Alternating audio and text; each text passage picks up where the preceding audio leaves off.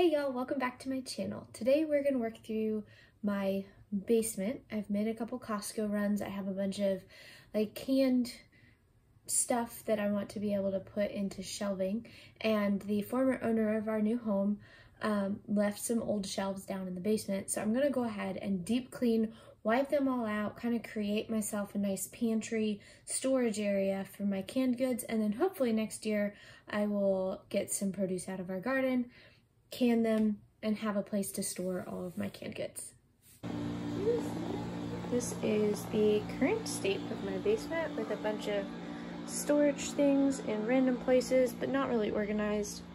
Bunch of junk. These are the storage areas. I have cleaned out and filled this one, so the goal is to go ahead and tackle at least one, if not both of these, and clean these up.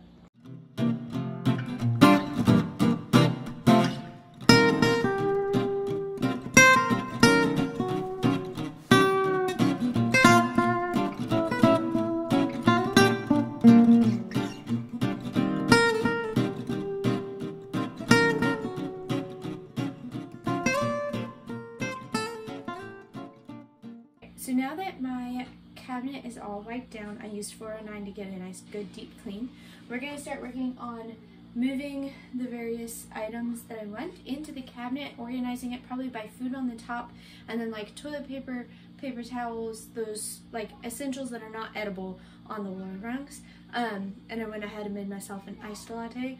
Um, if you want to know how to make a nice latte on your own, check out my video. I will list at the end of this video on how to make a nice caramel latte. Um, anyway, so here goes stacking the shelves and organizing it as from like most used to least used items within that shelf.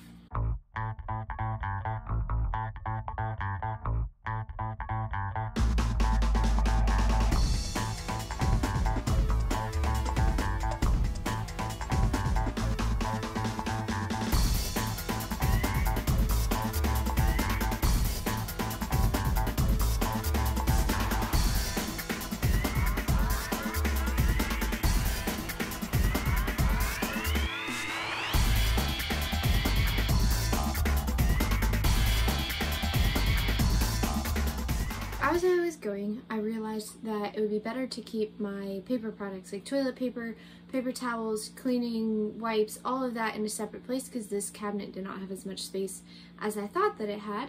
Um, and so now I have organized it by putting my our protein shakes, canned goods on the top.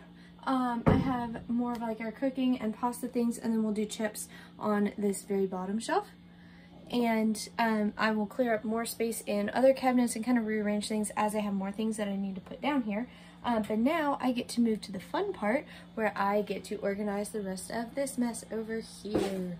Yay!